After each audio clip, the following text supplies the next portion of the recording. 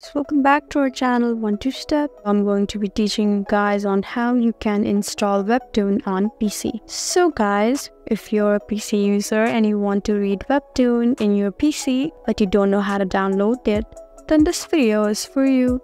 Let's get right into it. Just go ahead and type in how to install Webtoon or just type in install Webtoon PC and now you'll see the option that you can install Webtoon PC through BlueStacks app player. If you have an Android app or if you have a PC or Mac too, it says that you can enjoy it through that. Once you type in Webtoon download do you'll see this Webtoon apps on Google Play option. You can also choose to do that and download it through here. So guys, I hope this video was helpful for you. That's how you install Webtoon on PC.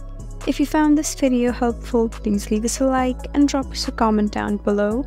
And if you want more helpful videos like these, then please subscribe to our channel. We'll see you again next time. Thank you for watching.